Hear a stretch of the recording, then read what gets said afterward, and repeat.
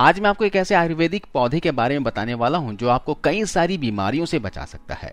इस पौधे के बीज, पत्ते, फूल और जड़, यानी कि इस पौधे का हर चीज़ का इस्तेमाल अलग अलग बीमारियों में किया जाता है।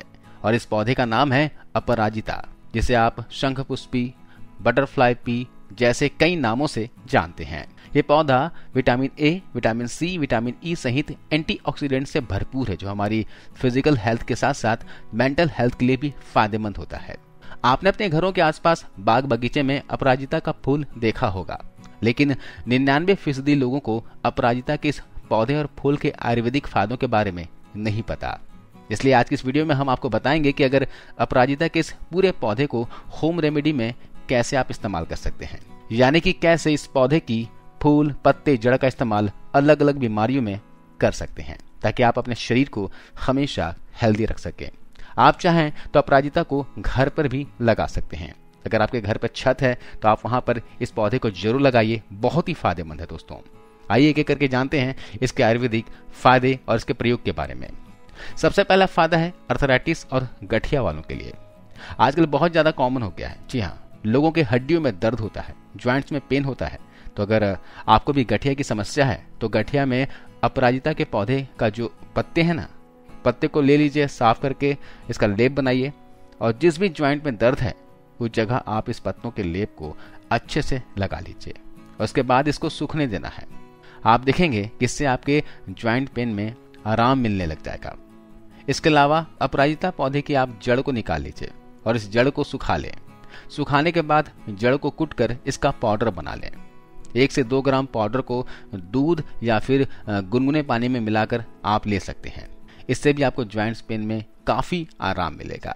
अगले फ़ायदे की बात की जाए तो कार्डियोवैस्कुलर हेल्थ के लिए और साथ साथ में शुगर पेशेंट के लिए बहुत ही फ़ायदेमंद होता है। इसके लिए क्या करना है?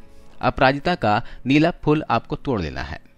एक कप चाय के लिए चार फूलों की ज़रूरत पड़ेगी। डेढ़ से दो कप पानी ले लीजिए, इसमें चार फूलों को डाल दीजिए और स्वाद अनुसार अदरक, काली मिर्च, तुलसी या फिर इलायची आप मिला सकते हैं। और आपको तब तक चाय को उबालना है जब तक पानी का कलर चेंज ना हो जाए। जी हाँ आप उबालेंगे तो देखेंगे कि जो फूलों का नीला रंग है, वो चाय में आ जाएगा। पानी नीला हो जाएगा। जब पानी नीला हो जाए तो इसे छान कर आप इसका सेवन कर सकते हैं। आप इसका सेवन सुबह के समय कर सकते हैं या फिर शाम को चार से पाँच बजे के आसपास कर सकते हैं। ऐसा आपको रोज़ाना दिन में एक से दो बार लेना है। आपको बहुत ज़बरदस्त फ़ायदा मिलेगा। शुगर कंट्रोल में रहेगा, हार्ट की बीमारी उसमें फ़ायदा मिलेगा, ब्लॉकेज ये दूर करेगा, कोलेस्ट्रॉल को मेंटेन करेगा, बीपी को नॉर्मल करेगा और साथ में पूरे हेल्थ के लिए दोस्तों ये चाय फ़ायदेमंद होता है। इसके अलावा आजकल हमारे खराब लाइफस्टाइल की वजह से पेट से जुड़ी प्रॉब्लम बहुत ही ज़्यादा कॉमन हो गई है। लोगों के पेट में गैस रहती है ज्वाइंटिस हो जाता है और पेट में पानी भरने की समस्या भी हो जाती है। अगर आपको ऐसी कोई भी प्रॉब्लम है तो आप इस अपराजिता के पौधे का इस्तेमाल कर सकते हैं। अपराजिता के पौधे में एक फली लगती है। देखिए, इस तरह की फली मिलेगी आपको। इस फली को आप तोड़ेंगे तो इसके अंदर बीज देखने को मिलेगा। इसके अंदर से इन बीजों को निकालकर हल्की आँच में भून लेना है। और भूनने के बाद बीजों को आपको मिक्सी ग्राइंडर में डालकर इसका पाउडर बना लेना है। आपको अपराजिता के बीज आयुर्वेदिक दुकान में भी मिल जाएँगे। आप बीजों को वहाँ से खरीद कर इसे भूनकर इसका पाउडर बना सकते हैं। और फिर बकरी के दूध या घी के साथ इस पाउडर को आधा आधा ग्राम की मात्रा में सेवन करना है। एक खुराक सुबह ले लीजिए और एक खुराक शाम को लीजिए। आप देखेंगे आपको बहुत ज़्यादा आराम मिलने लगेगा। पेट में गैस, दर्द ज्वाइंटिस की प्रॉब्लम पूरी तरह से दूर हो जाएगी। इसके अलावा आपको इनडाइजेशन पेट में जलन की प्रॉब्लम है तो भी आप इसकी जड़ का फ़ायदा उठा सकते हैं। इसके लिए आपको क्या करना है? अपराजिता की जड़ निकाल लेनी है। जड़ निकालने के बाद इस जड़ को सुखा लेना है और फिर इसे मिक्सी ग्राइंडर में डालकर पीस लेना है। पीसने के बाद जो पाउडर बनकर तैयार होगा, आप इस पाउडर को गाय के दूध या घी के साथ आधा आधा ग्राम की मात्रा में दिन में दो बार सेवन करना है। इससे आपको इनडाइजेशन यानी अपच की समस्या से आराम मिलने लग जाएगा। अगर आपको दूध डाइजेस्ट नहीं होता है या फिर दूध से एलर्जी है तो फिर आप दूध की जगह घी का इस्तेमाल कर लीजिए। घी भी नहीं कर सकते हैं तो इसके लिए आप डॉक्टर से सलाह लें कि कैसे आपको इस प्रॉब्लम से सॉल्यूशन मिल सकता है। इसके अलावा आपने देखा होगा कि कई लोगों के कान में भी दर्द होता है और कई चीज़ें ट्राई करने के बाद भी कान दर्द से आराम नहीं मिल पाता। कान दर्द के लिए बहुत ही ज़बरदस्त रामबाण औषधि है दोस्तों। यह अपराजिता के पत्ते कान दर्द के लिए रामबाण इलाज है। प्रयोग कैसे करना है? अपराजिता के हरे पत्तों को तोड़ लेना है। तोड़कर इसका लेप बना लेना है पीसकर लेप को हल्का सा गुनगुना कर लेना है। आप तवे में डालकर इसे थोड़ा गर्म कर लीजिए। उतना ही गर्म कीजिएगा, जिससे कि आपकी जो स्किन है, वो जले नहीं। आप हल्के गुनगुने पेस्ट को अपने कान के चारों तरफ़ लेप की तरह लगा लेना है और ऐसे ही उसे सूखने देना है।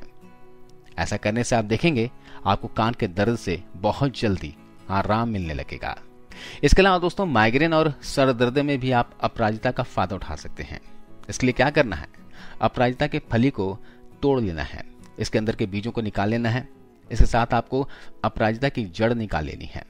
जड़ और बीज के साथ इस फली को पानी में मिलाकर अच्छे से पीस लेना है। पानी ज़्यादा नहीं डालना है, उतना ही डालना है जिससे कि इसका अच्छा सा लेप बन सके। फिर लेप को निचोड़ कर उसका रस निकाल लेना है। और रस की दो से तीन बूंद दिन में दो बार आपको अपनी नाक में डालनी है। ऐसा करने से सिर और माइग्रेन में धीरे धीरे फ़ायदा मिलने लगेगा। इसके अलावा इनके फूलों से आप अपना वज़न भी कम कर सकते हो। जी हाँ अपराजिता के फूलों की चाय भी बनती है, जो वेट लॉस में हमारी मदद करती है। बालों को बढ़ाने, जड़ों को मज़बूत करने, इसके अलावा चेहरे में ग्लो लाने में हमारी काफ़ी ज़्यादा मदद करती है। आपके शरीर में कोई बीमारी ना भी हो ना तो इस अपराजिता के नीले फूलों की चाय बनाकर पीजिए। बहुत ही ज़बरदस्त है दोस्तों। यकीन मानिए, लगातार सात से आठ दिनों तक इसकी चाय बनाकर पियेंगे ना, आपको खुद में फ़र्क महसूस होगा। आपकी उम्र बढ़ जाएगी, चेहरे का ग्लो बढ़ जाएगा, झड़ते हुए बाल रुक जाएँगे। इसके अलावा आप हेल्दी रहोगे यंग दिखोगे एनर्जेटिक रहोगे और अगर मोटापा बढ़ा हुआ है तो एक्स्ट्रा फैट भी धीरे धीरे कम होता जाएगा। यह है अपराजिता के बेहतरीन फ़ायदे। आपको वीडियो जानकारी कैसे लेगा, आप हमें बताइएगा और इस वीडियो को अपने दोस्तों के साथ, परिवार के सदस्यों के साथ ज़रूर शेयर कीजिएगा। मिलता अगले वीडियो में। जय हिंद।